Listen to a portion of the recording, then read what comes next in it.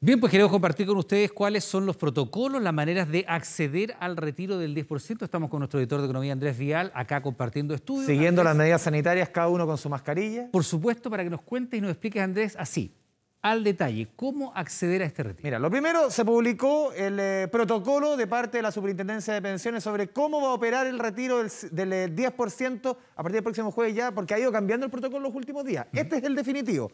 Vamos con la primera gráfica. A ver, a partir del 30 de julio, es decir, este jueves iban a las 9 de la mañana, no cuando no a medianoche, no. 9 de la mañana debe estar todo implementado. Eso es muy importante.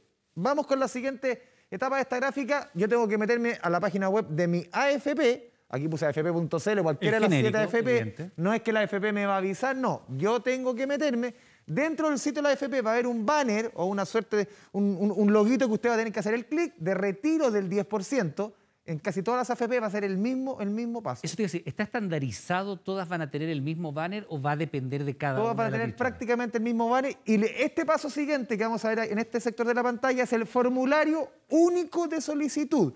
No es que cada AFP va a tener un formulario cada uno por su cuenta, no. Un formulario único de solicitud, cada uno con sus pasos, con las preguntas, con todos los requisitos, documentos, todos los elementos que uno tiene que poner en esta solicitud. Vamos con la siguiente gráfica, seguimos viendo ¿Qué es lo que hay que poner, por ejemplo? Se requieren cinco datos personales. Cédula de identidad, que es muy importante, es el RUT, el número de serie, que está ahí justamente en el... Sí. en la parte frontal del... Exactamente. El teléfono de la persona. Y aquí vemos los otros dos datos importantes de los datos personales. El domicilio, eso sí es opcional el domicilio. Y el eh, tercer dato muy importante, yo creo que de lo más importante es el correo electrónico. Andrés, inmediatamente surge la pregunta porque ayer lamentablemente vimos mucha gente esperando en una fila en varias eh, oficinas de la AFP para obtener la clave. La clave personal no la necesitan en ninguna fase de este proceso. En ninguna fase va a haber ninguna... Recordemos que hasta, hasta el día de hoy o hasta la semana pasada, eh, la persona para acceder a sus datos de la AFP tenía que tener su clave. Ahora no, para el retiro del 10% no se necesita ninguna clave personal. Vamos con la, con la siguiente gráfica, seguimos viendo los otros elementos conforme va avanzando este protocolo final, cómo se va llenando este formulario. Modalidades de pago, Iván, esto es muy importante. Hasta el día de ayer existían cuatro modalidades de pago bien, de pago bien importantes. Cuenta bancaria, que es eh, la cuenta RUT y la cuenta, la cuenta corriente. Una cuenta 2 de la FP también un depósito en la caja de compensación, si es que la persona no tiene ninguna cuenta, o también un vale vista que se retira en el banco. Hoy día se sumó otra alternativa, lo vemos acá, muy importante. Se suma Sencillito y Servipag. A través con tu RUT, tú puedes retirar en efectivo, que esto es muy importante, a diferencia de los otros casos, salvo el vale vista, aquí se retira en efectivo en Sencillito y Servipag. A ver, eh, evidentemente la manera del pago la decide el la persona. ¿verdad? La persona. Yo decido cómo lo retiro. Y eso lo voy a decir justamente en el, mismo formulario, está todos los pasos a seguir.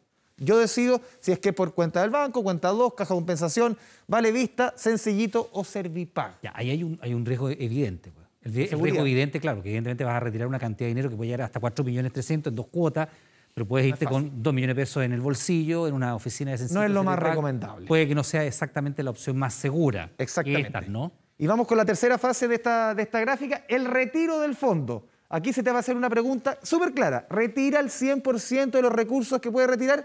¿Sí o no? Si usted dice que no, te da la opción de quizás retires el en vez de retirar el 10%, retires el 5%. Aquí el tema que es muy importante, Iván, es que si tú retiras el 5% y no el 10%, después no puedes volver a, retirar el 5% restante. Fíjate, lo que pasa es que ayer, ayer, circuló mucho esta opción como un supuesto, y lo aclarábamos con el superintendente, un, supuesto fake, un supuesto engaño parte de las esas. Si tú quieres el 10%, tienes que decir retiro el, el 100%. Por eso se dice sí o no. Es muy importante. Si tú retiras menos, después no puedes retirar la totalidad. Pero aquí hay un elemento súper importante, Iván, porque, por ejemplo, si yo elijo la cuenta RUT, hoy día la cuenta RUT tiene ciertos límites de depósito. ¿Va a regir esos límites de depósito para este depósito? Por ejemplo, si yo elijo la cuenta 2, la cuenta 2 tiene un costo de administración. ¿Va a regir para este depósito? ¿Me van a cobrar por tener la plata en la cuenta 2? De eso trata la nota de Jaime Quesada. A mí lo que, lo que me queda más fácil es el tema de la, de la cuenta RUT nomás. ¿Que me la depositen a la cuenta RUT? ¿Que me la depositen a la cuenta RUT? Cuenta RUT tienen la decisión tomada. Ya saben la opción que elegirán para el depósito del 10% de los fondos. Encuentro que es más seguro. Porque es más fácil, más cómodo.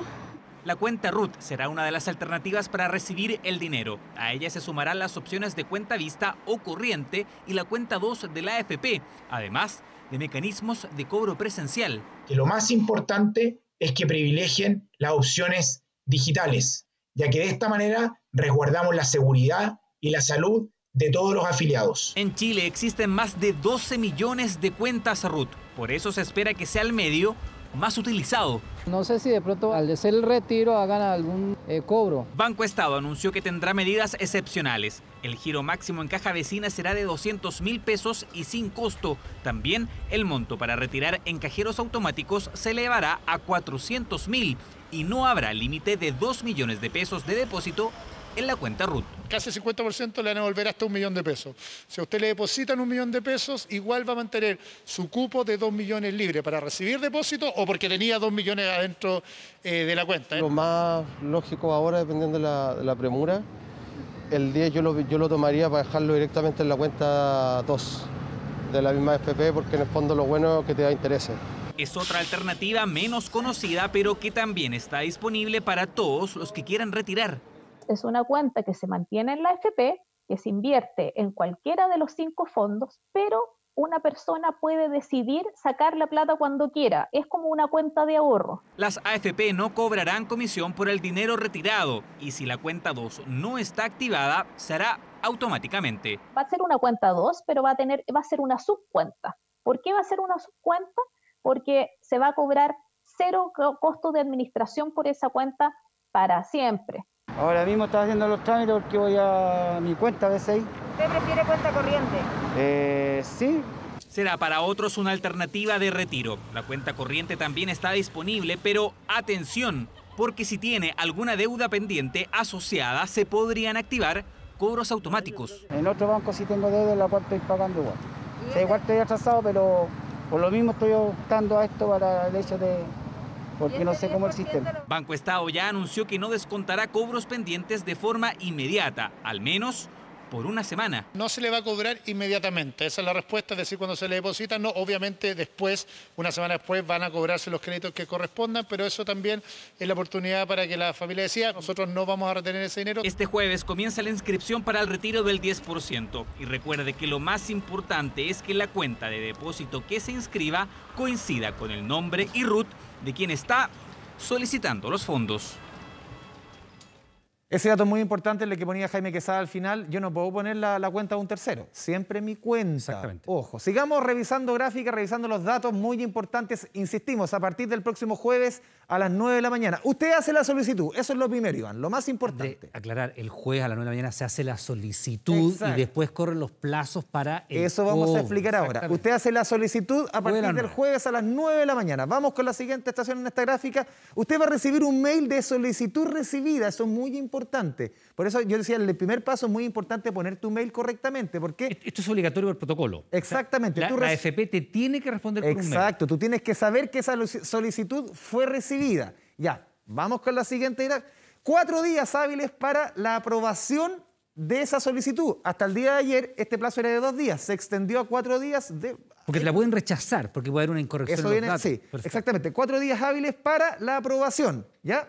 Y el siguiente paso, ¿qué pasa si se te rechaza? En caso de rechazo hay que explicar las razones. La FP tiene que explicarme las razones por el rechazo para poder rehacer la solicitud. Y lo que es muy importante, Iván, cuando a mí me la aprueban, cuatro días después de la solicitud, supone que el depósito son diez días hábiles después de hacer la solicitud. No, después a partir de este día. O sea, después de ese día te quedan seis días hábiles. como máximo. Como máximo. Porque puede ser incluso menos dependiendo la FP. Y en la siguiente gráfica vamos a hacer un tema que es muy importante. Las pensiones de alimentos. Esta pregunta va a estar en el formulario. ¿Posee deuda por pensión de alimentos? Vamos con la siguiente alternativa. No, sí.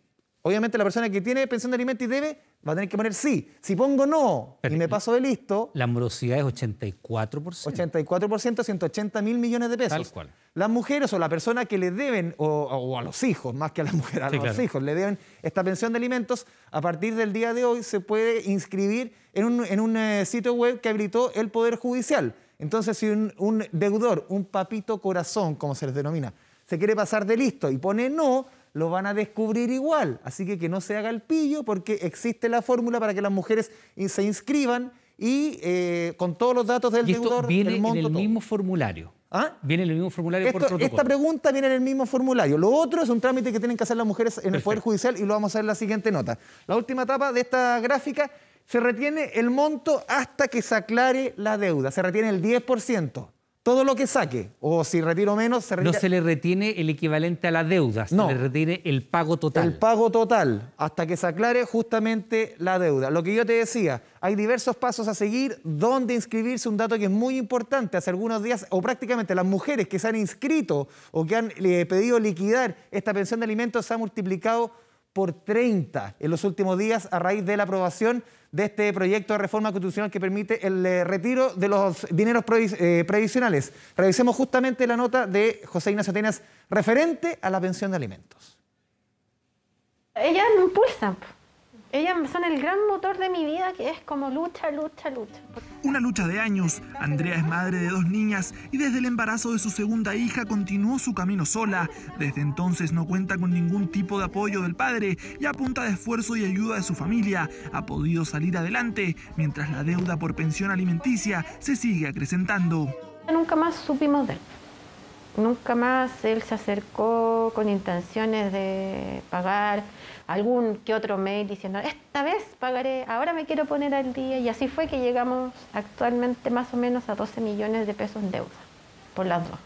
Un tema que salió a la palestra tras ser la única retención que tendrá el retiro del 10%. Es por eso que como Andrea son miles las personas, principalmente mujeres, que han llegado hasta los juzgados de familia para realizar el trámite de liquidación de deudas de pensión alimenticia. Solicitudes que en los últimos días han aumentado considerablemente. Si el 22 de julio habían 1.259, el viernes 24, día en que se promulgó la ley, las solicitudes superaron las 34.000. Un trámite que se puede demorar más de 10 días en activarse, plazo en el que se daría el primer pago. Sin embargo, para evitar este y otros inconvenientes, los tribunales tomarán medidas. Lo que el tribunal va a hacer ante la primera petición que se haga, pedir a la AFP que congele esos fondos, que los, los mantenga allí mientras se determine efectivamente cuál es la deuda.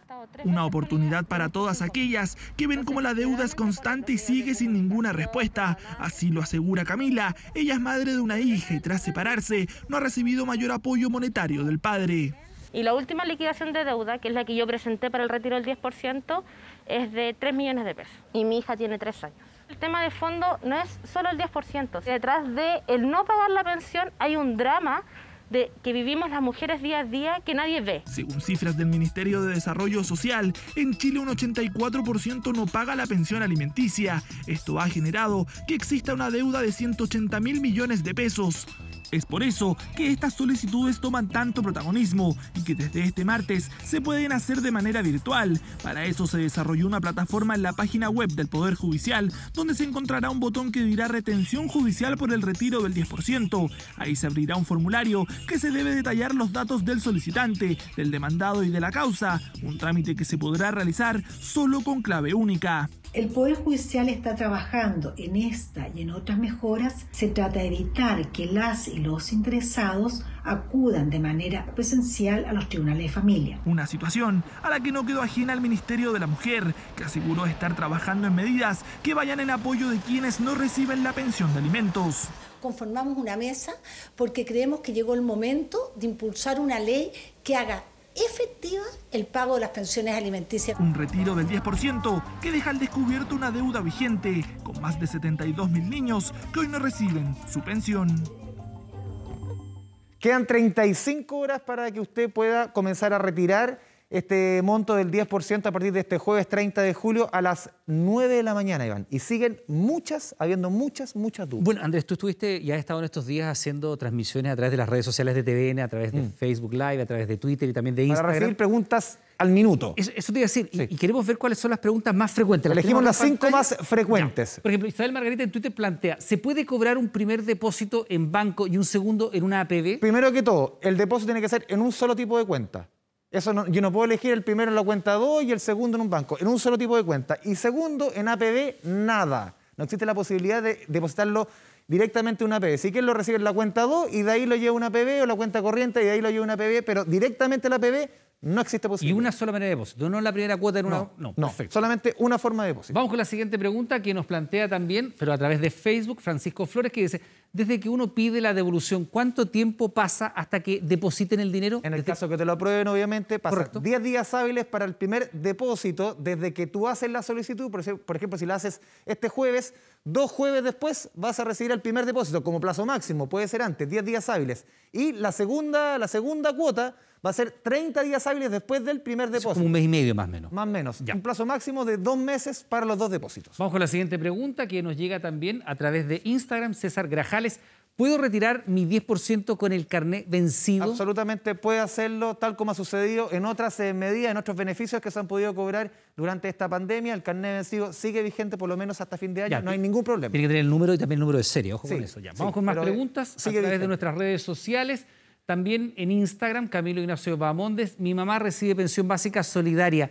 ¿Puede ella retirar el 10%? Esta pregunta se repite mucho. Una persona que recibe la pensión básica solidaria es porque nunca cotizó en la AFP, porque no tiene monto en la AFP. Recordemos que la pensión solidaria que fue instaurada el año 2008 en el primer gobierno de la presidenta Bachelet es para las personas que nunca cotizaron en la AFP, es decir, no tiene un peso en la AFP. Lamentablemente esa persona no puede retirar el 10%. Pueden retirar todos los que tengan algún fondo en la AFP, por eso es Exacto. universal. Pero en este caso, los que están en el pilar solidario, la pensión Distinto a los que reciben el aporte previsional solidario, que es un complemento a lo que yo ya recibo por la AFP, ahí sí puede retirar. No en el caso de la pensión básica solidaria. Otra pregunta más tenemos. La eh, última pregunta que hemos recogido. a través de Facebook, Manuel Jesús Sandoval dice, si retiro un millón, ¿debe ser en una o dos cuotas? Las personas que retiran la totalidad de su plata, es decir, de un millón para abajo, que son los que pueden retirar la totalidad de su plata en una sola cuota. Las personas que reciben de un millón para arriba, es el punto de quiebre, entre comillas, lo reciben en dos cuotas. Ahí está el qué. Los que, los que sacan la totalidad de la plata, una sola cuota, de un millón para arriba, que son los que tienen en su cuenta, de un millón a 10 millones, hasta un